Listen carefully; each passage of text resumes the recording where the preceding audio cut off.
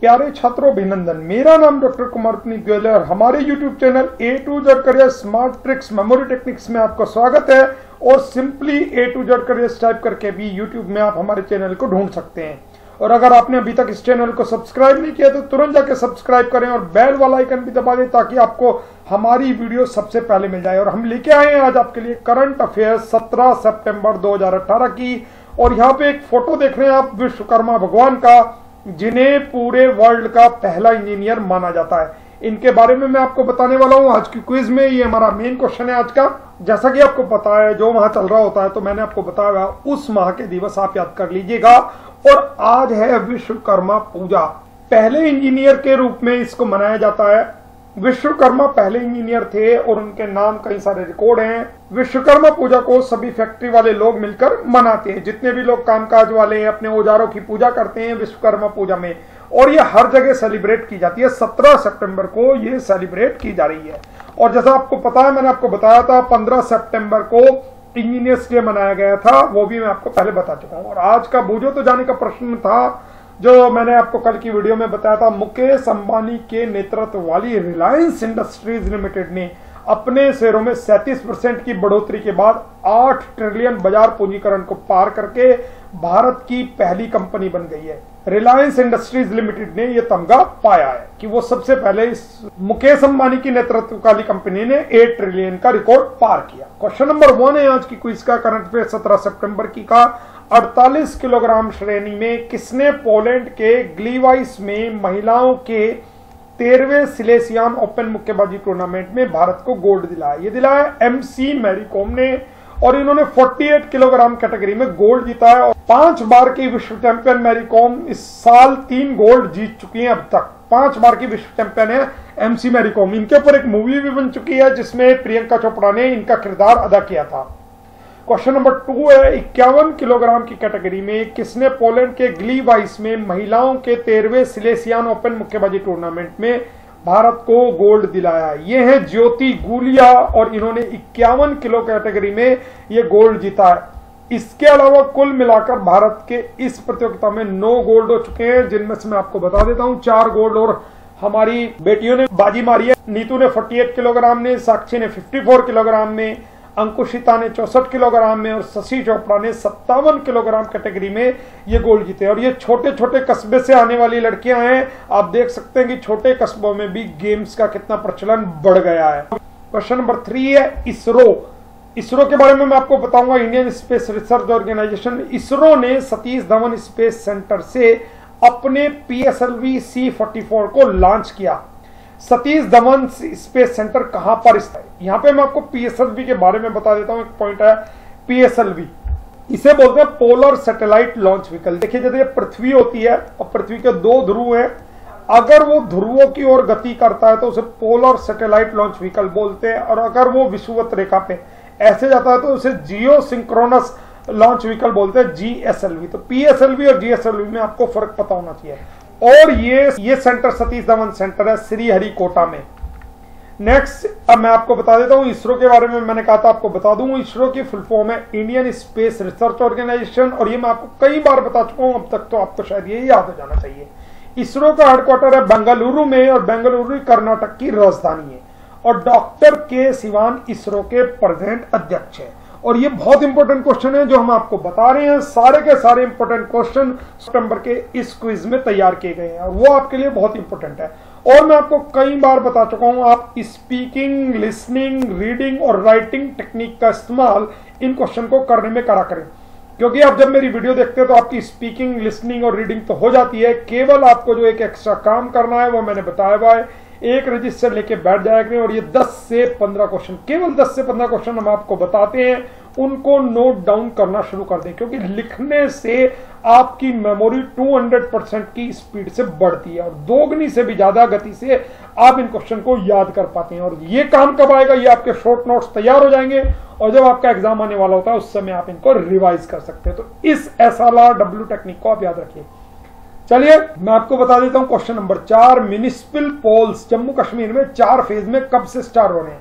Municipal पोल हो रहे हैं, अभी मैं आपको जम्मू कश्मीर के बारे में बताऊँगा, वहाँ प्रेसिडेंट रूल लगा हुआ है, और ये अक्टूबर आठ से चुनाव शुरू किए जा रहे हैं, और जो स्टेट चीफ इलेक्शन कमिश्नर है, उनका नाम है सालीन काबरा, और इन्होंने ये घोषणा किया सालीन काबरा जी ने यह घोषणा की है जम्मू कश्मीर की। और जम्मू कश्मीर के बारे में मैं बता देता हूँ, जम्मू कश्मीर की कैपिटल है श्रीनगर और जम्मू। श्रीनगर गर्मियों की कैपिटल है और जम्मू सर्दियों की कैपिटल है। और यहाँ इस समय प्रेसिडेंट रूल लगा हुआ है और यहाँ के जो गवर्नर हैं वो श्री सत्यपाल मलिक हैं। ये जैसे क्वेश्चन होते हैं, मैंने आपको बताया, जब भी किसी स्टेट का नाम आए तो उसकी कैपिटल, उसके गवर्नर, उसके सीएम आप ज़रूर याद कर लिया करें। इतना याद करने से आपकी मेमोरी तेज़ी से बढ़ेगी। क्योंकि देखिए 29 स्टेट्स हैं हमारे और सात यूनियन टेरिटरी हैं। सभी के गवर्नर सीएम और कोई ना कोई कैपिटल कहीं ना कहीं किसी ना किसी एग्ज़ाम में पूछ ली जाती है। जैसे आज 17 सितंबर से रेलवे डी, ग्रुप डी के एग्ज़ाम शुरू हो रहे हैं तो आपने देखा होगा, आप अगर हमारी वीडियो लगातार वॉच कर रहे हैं, देख रहे हैं हमारी करंट अफेयर्स की तो उससे भी आपके बहुत सारे क्वेश्चन कवर हो जाते हैं। पिछली बार जो रेलवे एएलपी के एग्ज़ाम थे, हमारी जो 50 या 60 हमने करंट अफेयर्स की वीडियो लास्ट टाइम डाली है, उसमें से आप देख लीजिएगा, कम से कम 20 से 25 क्वेश्चन एज इट इज़ वो ही मिले हैं। हमारे चैनल पे आप भरोसा कर सकते हैं और तुरंत जाके इसको सब्सक्राइब कर दें और ज़्यादा से ज़्यादा इसे शेयर भी करें। और अपने दोस्तों को जो फेसबुक पे हैं व्हाट्सएप पे हैं व्हाट्सएप के जितने भी आपके स्टडी से रिलेटेड ग्रुप हैं, उनमें भी इसको पोस्ट कर दें ताकि उनको ये सूचनाएँ मिल जाएँ, वो भी कहीं ना कहीं सिलेक्शन ले पाए। आज की 17 सितंबर की क्विज का क्वेश्चन नंबर फाइव है, प्रधानमंत्री जन धन योजना में अब तक कितने खाते खुल चुके हैं? और यह डाटा 5 सितंबर तक का है और 20 लाख खाते अभी हाल ही में खुले हैं और इसमें बत्तीस करोड़ खाते खुल चुके हैं। और ये वर्ल्ड की सबसे बड़ी परियोजना बनी है, सबसे ज़्यादा खाता खोलने वाली परियोजना बन चुकी है। प्रधानमंत्री जनधन योजना। हाल ही में टाइफून मांगफुट आ गया है और ये चाइना की ओर बढ़ रहा है। ये सबसे पहले यहाँ कहाँ पे आया? हांगकांग, चीन, फिलीपींस। सबसे पहले इसने जो दस्तक दी थी, फिलीपींस में दी थी। फिलीपींस के बीच ये हांगकांग में गया और हांगकांग के बाद ये चाइना में पहुँच रहा है। अब देखिए यहाँ पे फिलीपींस का नाम आया तो मैं आपको बता दूँ, फिलीपींस के इस समय प्रेजेंट प्रेसिडेंट है रोड्रिगो डुट्रे। ये मैं आपको क्यों बता रहा हूँ? मैंने आपको बताया, जब भी कोई कंट्री का नाम आए तो उसके प्रेसिडेंट उसकी कैपिटल और उसकी करेंसी आप रिवाइज कर लिया करें। देखिए ये जो मैप में दिख रहा है आपको, भारत के ऊपर चाइना है और चाइना के यहाँ नीचे की ओर, थाईलैंड के आसपास इस इलाके में ये फिलीपींस है। फिलीपींस की कैपिटल मनीला है और मनीला में एशियन डेवलपमेंट बैंक का हेड ऑफ़िस भी है। ए डी बी जिसे हम बोलते हैं, ये एक्स्ट्रा क्वेश्चन आपका यहाँ से बन जाता है। और फिलीपींस की करेंसी है पेसो ये सारे क्वेश्चन आप मेरे साथ रिवाइज कर लिया करें, लिख लिया करें और लिखने से आपकी मेमोरी बढ़ती है।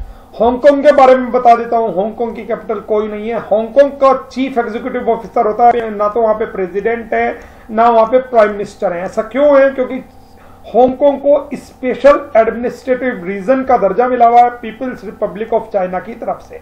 यानी इस पे चाइना का राज चलता है और चाइना ने यहाँ पे अपना चीफ एग्जीक्यूटिव ऑफिसर बिठा हुआ है, उनका नाम है कैरी लेन और हांगकांग की करेंसी है Hong Kong dollar. Question number seven है, United Nations development programme, UNDP जिसको बोलते हैं, इन्होंने हाल ही में एक सूची जारी किया है, ह्यूमन डेवलपमेंट इंडेक्स। इसमें एक सौ नवासी देशों की सूची जारी की गई है। इसमें आपको भारत का स्थान बताना है। भारत का इसमें स्थान है 130वां 130वें स्थान पर ह्यूमन डेवलपमेंट इंडेक्स में भारत आया है। और मैं आपको यहाँ पे बता दूँ, पहले स्थान पर नॉर्वे आया और सबसे खराब स्थान, यानी 189 पे आया नाइजर। यहाँ की काफ़ी स्थिति खराब है, भुखमरी भी बहुत ज़्यादा है और कोई भी रोज़गार यहाँ पे नाइजर में नहीं ये अफ्रीका का देश है। क्वेश्चन नंबर एट है। इंडिया की सबसे बड़ी private jet and helicopter company का नाम बताना है, जिसने on demand urban air transport service की है। अगर आपको चाहिए तो आप एरोप्लेन या हेलीकॉप्टर किराए पर ले सकते हैं और अपने लिए पर्सनली चला सकते हैं। जैसे टैक्सी चलती है, ओला कैब है और उबेर कैब है, इसी तरह इस कंपनी का नाम है जेट सेट गो आप जेट सेट गो से एयरप्लेन या हेलीकॉप्टर बुक कर सकते हैं अपने लिए। यहाँ पे मैं आपको वन लाइनर के क्वेश्चन बता रहा हूँ। मैंने आपको बताया था क्योंकि इस समय कम होता है या हम आपको बहुत सारी क्विज देते हैं और वो क्विज हमारे पास समय कम होने की वजह से हम आपको ऑप्शन वाली क्विज नहीं दे पाते तो हमने सेक्शन स्टार्ट किया था। इनका पहला क्वेश्चन है, भारत सरकार के ऊर्जा मंत्रालय ने देश भर में कम ऊर्जा खपत वाली चिलर प्रणालियाँ लगाने को प्रोत्साहित करने के लिए एक महत्वाकांक्षी कार्यक्रम का शुभारंभ किया। Chiller star labelling. और ये पूरी तरह से इंडिविजुअल आपके ऊपर निर्भर है कि आप इस परियोजना को अपनाते हैं नहीं कंपलसरी कोई नहीं है। और चिलर का मतलब मैं बता देता हूँ यहाँ चिलर वर्ड क्या है? चिलर का मतलब है जि, जितनी भी ऑफ़िस होते हैं बिल्डिंग्स होती हैं वहाँ पे चिलर प्लांट लगे होते हैं यानी कूलिंग के लिए चिलर प्लांट लगे होते हैं। उन चिलर प्लांट को गवर्नमेंट ने कहा है कि आप स्टार लेबलिंग करा लें ताकि ऊर्जा की बचत की जा सके और ऊर्जा मंत्रालय ने कहा है इस तरह से हम 40 परसेंट ऊर्जा की बचत कर सकते हैं। और हमारे ऊर्जा मंत्री हैं पीयूष गोयल जी, इनके पास चार मंत्रालय हैं तो ऊर्जा मंत्रालय भी पीयूष गोयल जी के पास है। इनके बारे में मैं आपको कई बार बता चुका हूँ। परमाणु चिकित्सा एवं संबंध विज्ञान संस्थान के वैज्ञानिकों ने स्वदेश निर्मित पहली एंटी न्यूक्लियर मेडिकल किट तैयार की है। इसमें 20 से 22 चीज़ें जो परमाणु युद्ध या रेडियो धर्मी विकिरण की वजह से गंभीर रूप से घायल लोगों का इलाज करने के काम आएगी। और ये किट पहली बार भारत में बनाई गई है। और आज का भूजो तो जाने का प्रश्न वर्ल्ड कोकोनट डे कब मनाया जाता है, ये मैं आपको अपनी किसी वीडियो में पहले दे चुका हूँ। सितंबर माह की कोई भी करंट अफेयर्स की वीडियो में आपको इसका आंसर मिल जाएगा। और कल हम इसका आंसर आपको देंगे और जो सबसे पहले इसका आंसर देगा, उसका नाम हम अपने अगली वीडियो क्विज में डालेंगे। तो आप ज़्यादा से ज़्यादा इस क्वेश्चन को आंसर देने की कोशिश करें और लाइक का बटन ज़रूर दबाएँ, क्योंकि हमें पता लगता है कि आपको हमारी वीडियो कितनी अच्छी लगी। अगर आपको हमारी वीडियो अच्छी लगी तो इसको शेयर भी आगे ज़रूर कर दें। और अगर आपने अभी तक मेरे चैनल को सब्सक्राइब नहीं किया तो तुरंत जाके इसे सब्सक्राइब कर दे। सिंपली ए टू जेड करिए खाली इतना सा टाइप करके आपको मेरा चैनल तुरंत यूट्यूब में दिखाई दे जाएगा और प्ले लिस्ट में जाके आपको रीजनिंग मैथ इंग्लिश जीके वगैरह की काफ़ी सारी मेमोरी ट्रिक्स मिल जाएँगी। तो please don't forget to subscribe my channel A to Z career smart tricks memory techniques आपको बहुत सारी स्मार्ट ट्रिक्स और मेमोरी टेक्निक्स हम यहाँ पे आपको देते हैं तो उन्हें जाके देख लीजिएगा। You all the success in your life whatever you want to be in your life and one day you will get the government job surely S S C bank railway C D S N D A C TET UP TET TET का exam आने वाला है। अठारह सितंबर से इसके form खुल जाएँगे। तो वो भी आप भर लीजिएगा। किसी भी एग्ज़ाम की तैयारी करते हैं। यूजीसी का एक नया सेक्शन हमने बनाया है। उसके लिए आप देख सकते हैं वीडियो यूपी पुलिस का री एग्ज़ाम होना है। उसके लिए आप अलग से देख सकते हैं। और आप हमारे व्हाट्सएप ग्रुप से भी जुड़ सकते हैं। और टेलीग्राम ग्रुप से भी जुड़ सकते हैं। Simply A to Z careers के नाम से ही हमारा व्हाट्सएप ग्रुप और टेलीग्राम ग्रुप है। और मेरा मोबाइल नंबर आपको डिस्क्रिप्शन बॉक्स में मिल जाएगा, उस पर आप मैसेज डाल के रिक्वेस्ट कर सकते हैं हमारे साथ जुड़ने की। और टेलीग्राम में जाके आप खुद एप्लीकेशन को डाउनलोड कर सकते हैं। वहाँ पे आपको सब चीज़ मिलती है। फ्री इस वीडियो की पूरी पीडीएफ आपको मिल जाएँगी। उससे पहले की पूरे अगस्त माह की वीडियो भी आपको मिल जाएँगी। और मैंने आपको बताया, अगर आप पिछले दो तीन माह की हमारी वीडियो देख के करंट अफेयर्स की तैयारी कर लेते हैं तो उससे बाहर एक भी क्वेश्चन आपको नहीं मिलेगा। सारे के सारे क्वेश्चन आपको number one channel A to Z career से मिल जाएँगे। थैंक यू वेरी मच प्यारे छात्रों, और आप सब लोग हमें लाइक करते हैं सब्सक्राइब करते हैं। इसी वजह से हम आपको इतनी अच्छी वीडियो दे पाते हैं।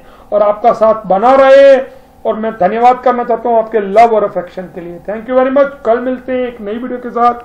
बाय